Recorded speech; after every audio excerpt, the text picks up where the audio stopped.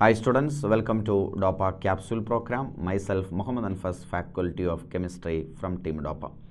Today I am going to explain a simple topic from the chapter that is environmental chemistry that is eutrophication. What is mean by eutrophication? That is I am taking a fertilizer and I am putting in a water body. What will happen? That is fertilizers contain the phosphates are the main additive or main ingredient that is when i am putting a fertilizer in the water body that is water body contain phosphate the amount of phosphate will be increases. And that phosphate enhances the growth of alga in the water body and thus algas will reduce the oxygen content in the water body and that leads to the death of the aquatic species in the water body. And that phenomena is called as eutrophication okay?